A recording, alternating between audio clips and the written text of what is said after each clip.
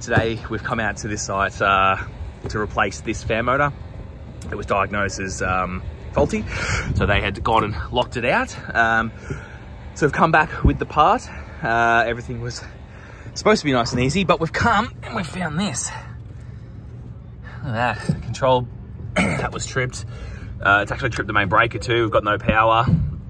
Just something coming. So yeah, we're gonna have something interesting here. We'll um gonna go ahead and get that fan motor replaced first, but uh, then we'll jump into trying to work out what has caused that.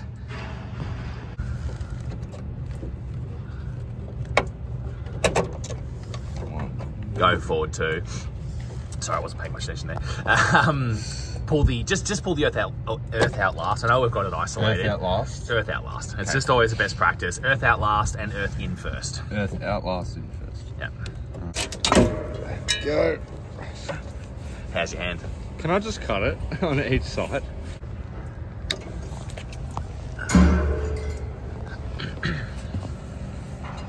So I probably should have cut here and then pulled it out from the bottom.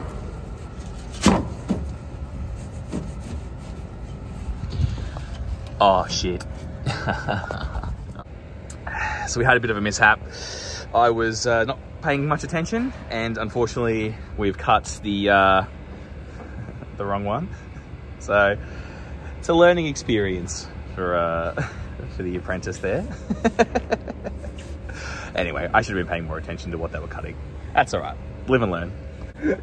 So all, all we're going to do is basically just take this one, move it there because obviously the wire will be long enough to get to there. Uh, yeah, good stuff. There you go. Like nothing ever happened, eh? uh, let's keep continue on. There you go. New one, getting it in place, and then we'll um, rewire both of them. Working our way through it. Start getting the uh, the this one wired in because of the design of this one, how they've got the, the cables run through that, we're gonna have to, we're basically just taking the lid off here to prop it up to then run that other cable across and down through there. Bit of messing around, but we got it in there. So that thing actually slides. Anyway, uh, cool. All right, finish wiring those in. Try to make it as neat as possible, but uh, you know, never easy. We'll jump into trying to work out what has taken out this board. I'm gonna start through testing components. Now, none of these have tripped. Um, you can see here, it looks like the relay that sends power to, uh, actually I'll, I'll double check that, but yeah. Yeah, look at the damage, hey, it's uh, pretty crazy. that fuse is dim blown, that one's not wiring for some reason. Uh, I'll just keep, keep doing a bit of a visual, see if anything stands out at me. So visually, nothing looks bad, except for obviously the burn mark in the board. Anyway, so I'm gonna go through with my meter now. I've got it set to ohms and we're down to earth there. So we'll just see if we're getting a reading. All right, well, we'll start with incoming power.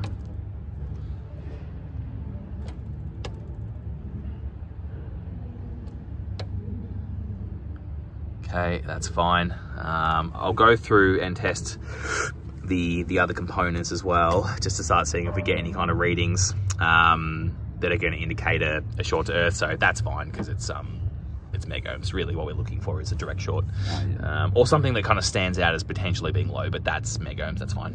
Um, but yeah, we'll go through and we're going to test this electrically.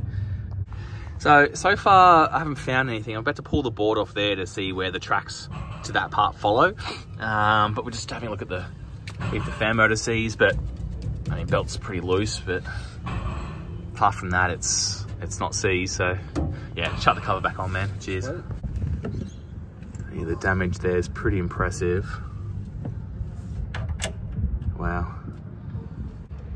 So just following the tracks, I accidentally did that. Anyway, uh, just following the track. So this is our input supply side here. So the, the burn does appear to be on the output supply side. Um, so you can see there, mains output supply. But I am getting no reading across anything, um, you know, no um, compressor readings, uh, no indoor fan readings. Um, so yeah, we'll keep looking into it. I might, I'll test some of the points actually. We'll see if we can get, these are just to earth, but you know, again, so this is, I think this is that coil.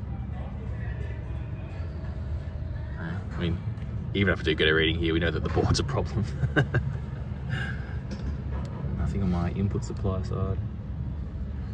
No, so that'll just be connected. Yeah, I'll, I'll, keep going through and see if I get any like direct shorts, but I mean, as it stands, no, nothing. Yeah, keep having a look. So as it stands, I've tested everything, uh, all the motors, nothing's coming up with a reading to earth.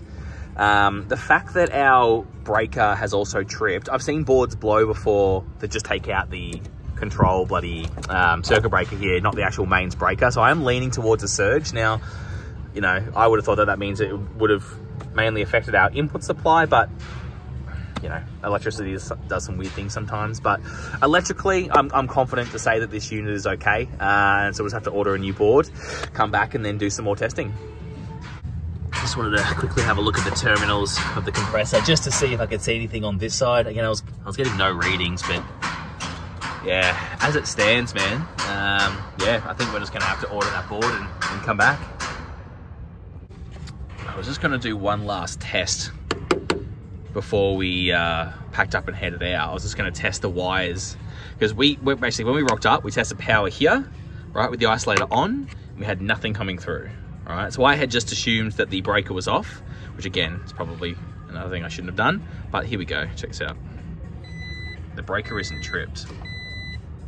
So that's really interesting. I wonder why I wasn't getting any power while this on to here. So I'm just gonna test the cables from here to here see if I've got any breaks or anything. So I'm getting continuity between uh, basically I'm testing from, you know, the red terminal here, the red terminal over there, nothing between the wires. What we'll quickly do is just test between the, the phases this way. So that's fine. One to three. That's fine. And two to three. That's fine. Basically what I'm gonna do now is I've killed power um, to all of these. Obviously that one's already tripped, we won't turn that one on. I'm to turn power on at the isolator, see if I actually get power up there. Um, and yeah, uh, basically all we're doing is energizing the tops of these circuit breakers. So, touch wood. all right, nothing went bang. It's a, a nice, it's a good sign there. Just make sure we're getting power, the correct power. And we're now getting power. That's super interesting, man. Huh, okay. So I've just gone through and tested, uh, turned on each circuit breaker one at a time, and we're now getting power to the top of our contactors. So yeah, really weird, man. I'm not sure why we weren't getting power when we tested down here originally. Um, really weird. Regardless, um, what we'll end up, like I said, we're gonna have to replace the board anyway. Um, electrically, everything else is fine, no shorts to earth, and all my windings between my compressor and fan motors, all measuring out um, uh, the, uh, the same resistance, even resistance, they're all three-phase motors. So yeah, we'll just leave this thing isolated, come back with the board and replace it and see how we go. Okay, we are back today. I've uh, got the board, let's get stuck into it. Alrighty, I am gonna start taking this board out, put the new one in. Uh, I might just quickly do some other checks. Uh, honestly, I've, I've already checked for everything anyway, but some of these connections did feel pretty loose. I don't know if I mentioned that in the last part, but you can kind of see there's a, there's a lot of wriggle room there. Um, I'm just, you know, I didn't find any direct shorts, so now I'm trying to look for other things that could potentially have caused this board to blow. Um, yeah, so we'll go through, tighten up all these as well, so they sit, um, sit snug on the board. Um, quickly tighten up all the electrical connections as well, fire it up, make sure our fans run and everything runs. Yeah, new one's out. You can see the burn marks all there. Um, I think I already showed you the back of the board the last time. I uh, I put that hole in there the last time. I didn't hit it that hard, but uh, I tapped it and it kind of crumbled. So, but still, it's pretty impressive damage. You can kind of see a lot of these terminals are black now, so it's kind of hard to tell if it's like overheating or if it's just residue from like, it almost seems like overheating because it almost looks like it's plated, eh? Right kind of see the discoloration of it. This looks darker than usual. Anyway, uh, I'm gonna go through, tighten these up, get them back on. New board in. I've gone through, like I said, tighten up all those.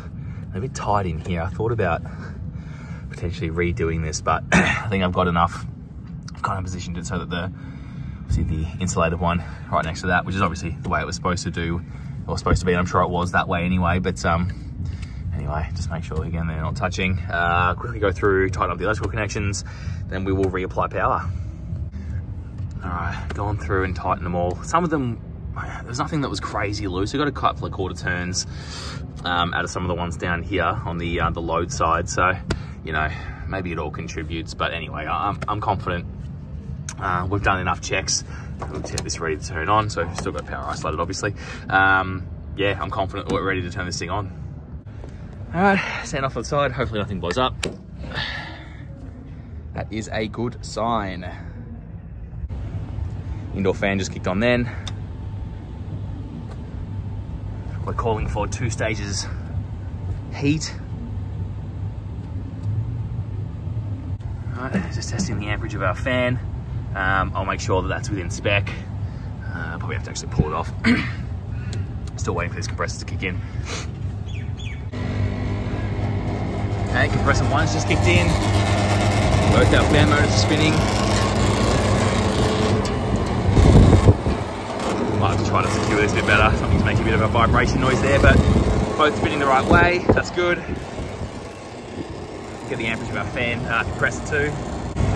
All right. Both compressors are in. 6.8 seems fine. Again, I'll confirm that, but and 6.8 that seems fine as well. Um, all right, I'm to check the back of this.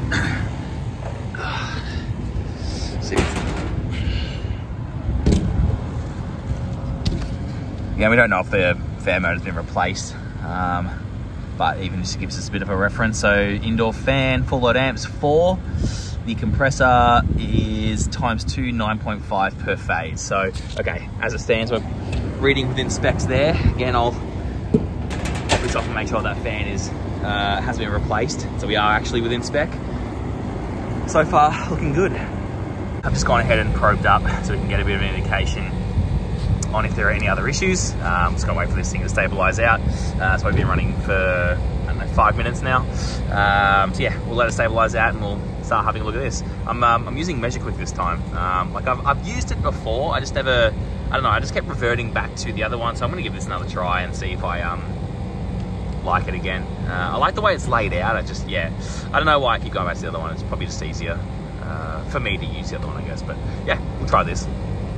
So I remembered pretty quickly why I uh, stopped using this because I always wanted to see the discharge line temp and it's not an option, at least as far as I'm aware, it's not an option. So you have to come to like your probe manager section and it keeps showing it to me in Fahrenheit and that's really annoying for someone who doesn't use Fahrenheit.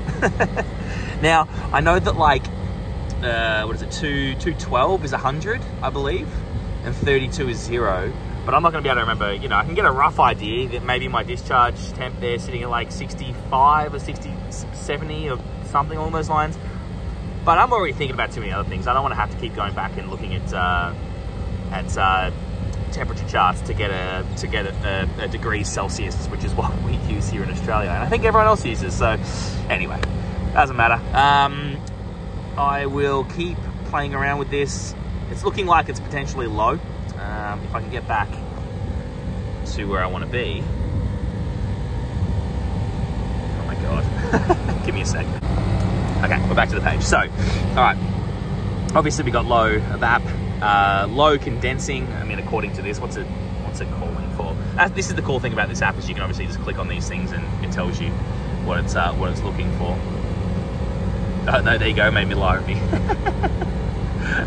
I swear it does that.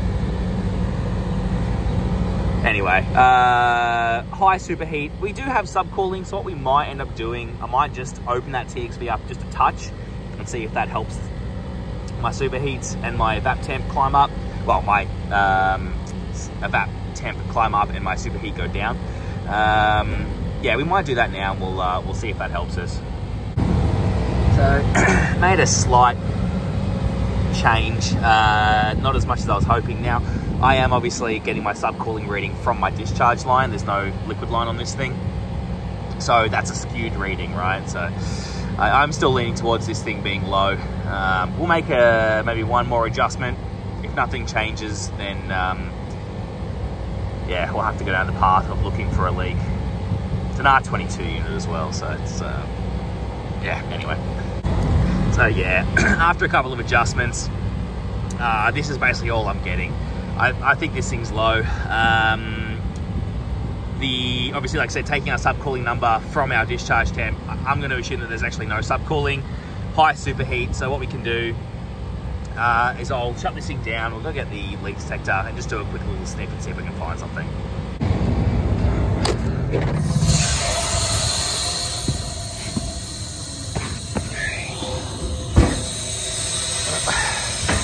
I know what the uh, first thing I want to start with I noticed this before I imagine that's on there for a reason. Uh, so nothing comes out there. What if I undo it here? It's pretty tight. yeah, okay. Anyway. Oil. Start having a sniff.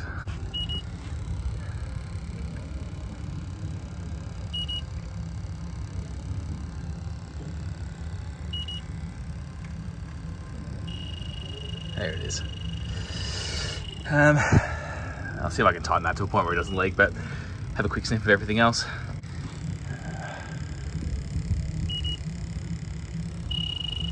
Yeah, so I've tried twisting it as much as I can and I cannot get it to stop leaking. So I'm gonna say that's our that's our culprit there, but I can't do anything about that today. I'll have to come back and fix that another day. But honestly, you know, I, I absolutely love these Schrader core removal tool. Uh, sorry, not Schrader core removal tools, the um, Schrader depressors, but this maybe could have been a, a, an example of if you go too far, you can actually bend the Schrader and then and then what you kind of cooked after that. So I really just use these just to crack and then that because that's all you're just trying to read the pressures right so anyway um, I don't know if that's the case but yeah we'll have to come back and uh, rectify this so uh, outside of that system's up and running now um, it'll serve a it'll serve uh, a purpose, I guess. It'll um, at least add some conditioning to the space. The pressures weren't too bad, so for the time being, it'll uh, it'll do until we can come back and rectify that.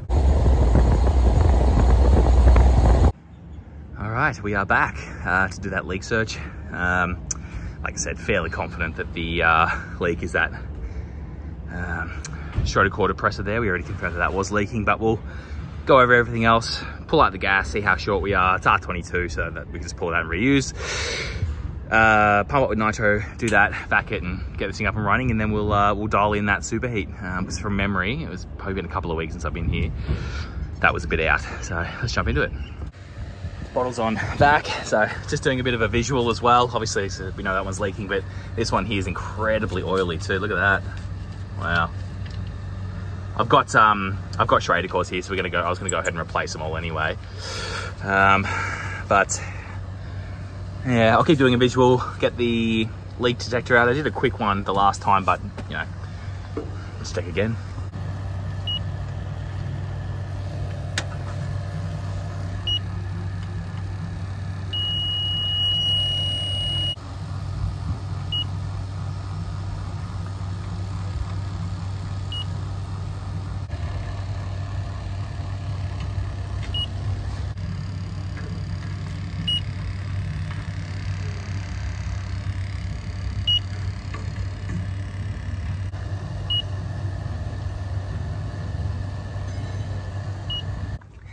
So just did a real quick hit in the evaporator. No hits there.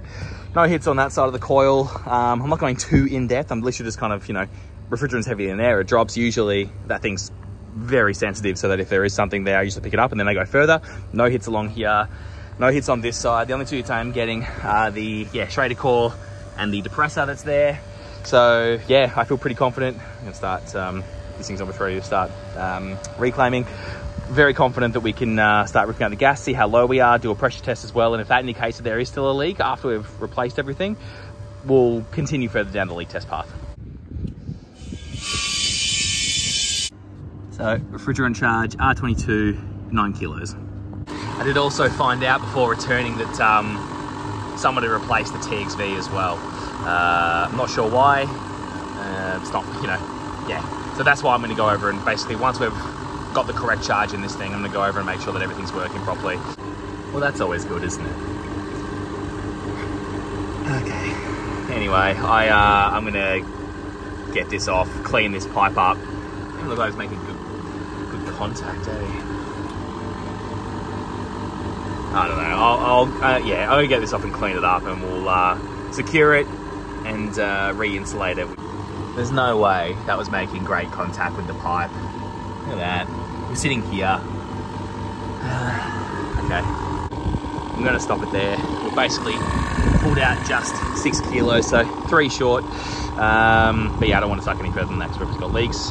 Just gonna remove the schraders, and this is a pretty good example of what can happen when you uh, use those depressor tools, but you go in too tight. It's uh, it's bent. So that was the one that was leaking. And then this is the one that I just put mine on. And because I knew I was replacing it, I went down all the way too. Can see that one's bent as well. So yeah, just, that's why I always only just crack them. That's all you need. I'll throw in some caps with the O-rings in there as well. All right, start the pressure test. Well, that's not ideal. Look at that. Motherfucker. Okay. Uh, I just gave it a little nip up and it seems to have stopped, so yeah. Started the pressure test again. Pressure test looks pretty good. Um, hopefully that comes across. So I think we might um, get this thing on back now and uh, then we can get to restrapping that. Annoyingly, I didn't have any of those copper um, copper things in the car, uh, the way you, the, the copper, copper straps. Uh, so all I've got is cable ties.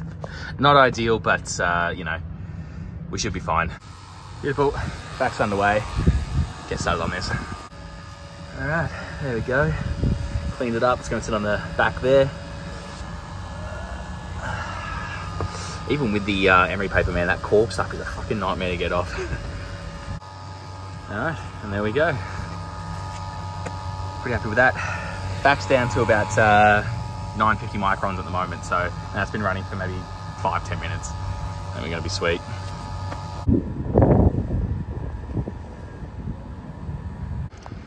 Oh man, that's not looking promising. Um, this thing's down to about 750. Maybe I'll get a wriggle on, eh? if it can stay below a thousand, I will be very happy. Stabilized out at around 870, so that's gonna be good enough. Um, yeah, we'll get charging. All right, we're underway. Trying to go through the uh, high side, but you know, there's not really much you can do in the situation. I'm not charging through the low side just yet. Okay. I think that's leaking. uh, slowed down, so turn power back on now. We'll get this thing to run and we'll charge the rest that way. Pressor's just started. Yeah, we'll start charging. Okay, got the fresh bottle on. We're fully charged. I, uh, I just packed up my gear just in case it does start bucketing with rain, but probes are all on there now. Um, I'll quickly go through initial thoughts. Superheat looks a little high. Um, see if I can scroll this with the, there we go. Discharge temp's all right. Uh, supply, and I've got five, that's pretty good. Oop, across. Temps a bit 12.2. Honestly, that's all looking pretty good. I reckon we just adjust our TXV a touch. I remember I played around with it the last time. Uh, just did a little half turn. Looking a bit better. We'll just see where that stabilizes out at. This thing's looking really nice, man. Um, yeah, superheat's very nice. Subcooling's nice. Discharge line is nice. Ah, the one downside of using this um, tablet is that it's uh, very glary. Anyway, temp split, 12.3. Honestly, pretty happy with how this thing's running now, man. It's, uh, it's had a fair, fair, few works done to it, so anyway, uh, get a, hopefully get a few more years left out of it. I'm, uh, I'm going to leave this one here. Thank you for watching.